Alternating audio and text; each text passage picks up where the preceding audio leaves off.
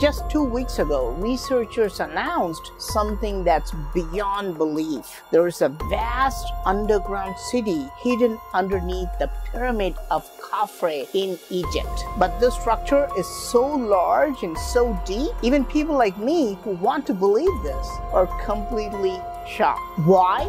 Because researchers claim they found this underneath the Khafre pyramid. It looks very advanced, like a Hollywood movie set. They've discovered five unopened structures which look like thatched houses with those slanted tops. But remember, the Great Pyramid has the King's Chamber and the Queen's Chamber, which look very much like this. So, finding similar structures in the Khafre Pyramid is not far fetched. But then, they discovered eight cylindrical structures going directly underneath and each of these cylinders has a spiral structure going around it. These look like giant Tesla coils, some kind of ancient energy devices. We do not know if they're solid structures or hollow structures. But it's not the cylinders that bother me, it's the length of the cylinders.